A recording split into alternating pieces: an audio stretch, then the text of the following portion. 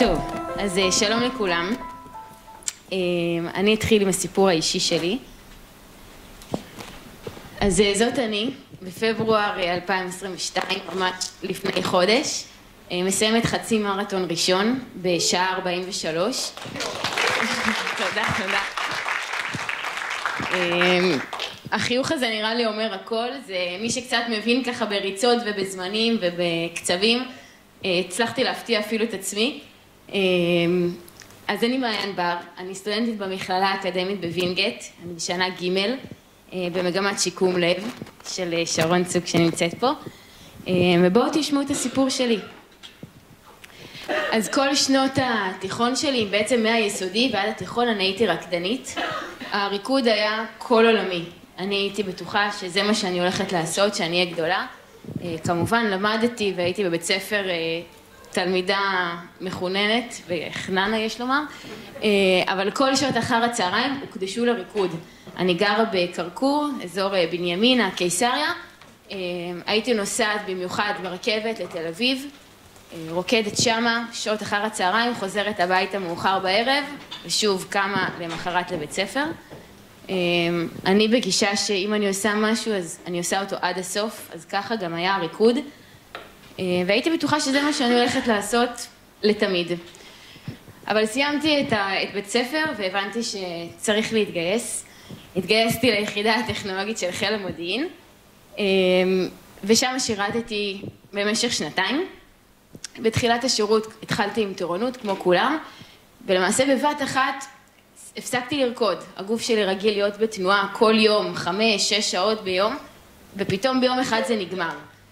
אה, אז לקח לי זמן להתאפס ולהבין מה קורה סביבי במסגרת הצבאית הזאת, וכשהגעתי לשירות הסדיר אמרתי, טוב, מה, מה אני עושה עם עצמי? אני חייבת למצוא איזושהי תנועה. אמרתי, טוב, מה אנשים עושים שהם רוצים לעשות uh, כושר? רצים, נתחיל לרוץ. ובהתחלה זה היה לי מאוד קשה, כי לא, לא הייתי רצה, הייתי רק רוקדת. פילאטיס קצת, אבל ריקוד זה היה הספורט היחיד שהייתי עושה. Um, היה לי מאוד קשה להתחיל לרוץ. ופה זה אחת הריצות, לא אחת, זו הריצה הכי טובה שהייתה לי עד אז. אז אם אתם משווים קצבים ומרחקים לחצי מרתון שראינו לפני רגע, זאת הייתה הריצה הכי טובה שלי. אה, והרגשתי בטירוף ושאני שאני על הגל מה שנקרא.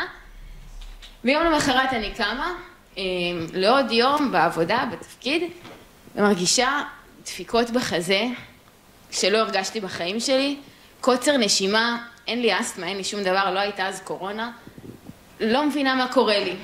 טוב, מתחילה לעבוד, והמפקד שלי רואה שאני, שאני לא, לא מתפקדת כמו שצריך. הוא אומר לי, מן, מה, מה קורה? אמרתי לו, תקשיב, אני לא יודעת, אני לא נושמת טוב, כבד לי, אני עייפה, אני לא יודעת, משהו לא טוב קורה לי. אמר לי, טוב, תלכי רגע למרפאה, נראה מה קורה.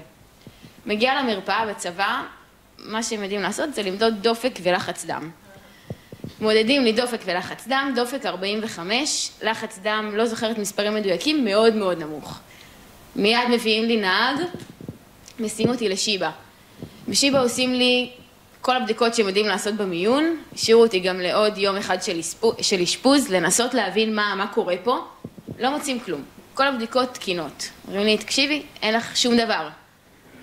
אז מצד אחד זה מה שהם אומרים, מצד שני, התחושה שלי אני הולכת ונהיית יותר ויותר כבויה, מרגישה פשוט רע, שום דבר לא עוזר, ניסיתי לקחת אקמול, נורופנד, כלום, שום דבר לא עוזר, המצב הולך ומחמיר, ו... ולא מוצאים מה יש לי. ולמעשה ככה נראיתי בכל החודשים שאחרי, אה, כמעט חודשיים, שלושה. הייתי בבית, לא הייתי בצבא, הייתי בגימלים, מיוחדת, אה, לא משנה איך מגדירים את זה. אה, ישנה, כל היום, לא יוצאת מהבית, לא אוכלת, אין לי תיאבון, לא עושה כלום. ברמה של האתגר הכי גדול שלי היה לקום לשירותים. זה משהו שחייבים לעשות מדי פעם ביום, וכל פעם שהייתי, הבנתי שיש לי פיפי ואני צריכה לגשת לשירותים, אמרתי, איך אני עושה את זה? איך אני אמורה להגיע לשירותים? אז את האמת שיש סיפור שלא זכרתי, ואימא שלי הזכירה לי אחרי ההרצאה הקודמת שהייתה בווינגייט, יצא רגע לגינה לזרוק זבל, היא נכנסת הביתה והיא מוצאת אותי על הרצפה, שוכבת, והיא נורא נבהלה, למה אני שוכבת על הרצפה? והיא ניגשת אליי, וישנתי על הרצפה. היא אומרת לי, מן, מה קורה? מסתבר שהלכתי לשירותים, ולא הצלחתי להגיע לשירותים, פשוט נשכבתי על הרצפה ונרדמתי. לא התעלפתי לו שום דבר, פשוט נשכבתי על הרצפה ונרדמתי. אמ, וזה הזמן לציין את אימא שלי שהבינה, זה, לא הבת שלי, היא בדיוק, היא רקדנית, היא התחילה לרוץ, מה זה הדבר הזה? זה לא הבת שלי ולא יכול להיות שאין פתרון ולא יכול להיות שכל הבדיקות יוצאות תקינות. אז חזרנו לשיבא ופשוט הגענו למיון, אימא שלי אמרה להם תקשיבו אתם עכשיו מאשפזים אותה איפשהו ומוצאים מה יש לה. אז עשו לי המון בדיקות דם, אה, יש סיפור מצחיק על הבדיקות דם, אחת הרופאות אה, ששאל, אני במסגרת הצבא כל הזמן הזה, אז נאלצתי גם ללכת מדי פעם לביקור רופא בשביל להוציא גימלים, אה, ואחת הרופאות בביקור רופא שואלת את אימא שלי, יכול להיות שהיא מזריקה לעצמה חומרים, כי יש לה פה מלא כחולים על הידיים, אז לא, פשוט לא הצליחו להוציא ממני דם, כי הלחץ דם שלי היה נורא נורא נמוך, לא הזרקתי לעצמי שום דבר. כל הבדיקות יצאו תקינות, עד שאחד המתמחים במחלקת אה, פנימית בתל השומר, מגיע ואומר, מצאנו מה יש לך, יש לך פוץ. אוקיי, מה, מה זה הדבר הזה? אז מצד אחד חיוך זה באמת ברגע הזה, ברגע הזה מבשרים לי שיש לי פוץ. אוקיי, תודה, אני שמחה שיש שם לדבר הזה שאני מרגישה וגורם לי לא לעשות כלום, אבל, אבל מה זה? אז אני לא אכנס לזה יותר מדי, כמובן, אבל בכללי אני נכנסת כמובן דוקטור גוגל. תסמונת המאופיינת בעליית דופק של יותר מ-30 פעימות, אה, לב בדקה, לאחר מעבר משכיבה לעמידה. זה באמת היה המצב שלי.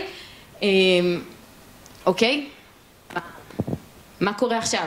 אני, אני לא מסוגלת לעשות כלום, אני רוצה לחזור לחיים שלי. מה, מה אני עושה? תגידו לי. לא יודעים. למזלי, שוב, אימא שלי מפעילה את כל הכוחות אימא שיש לה, ואנחנו מגיעים לפרופסור שרבי. אמ, פרופסור שרבי הוא המלאך של חולות הפוץ, אמ, והוא אומר בגדול שני דברים. אחד, זה טיפול תרופתי, כמובן אני לא נכנסת לכל הפרטים, הוא יגיד את הכל אה, עוד רגע. טיפול תרופתי ופעילות גופנית.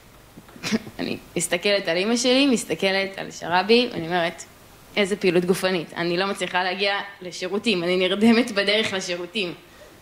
אבל זה, זה מה שיעזור, תרופות ופעילות גופנית.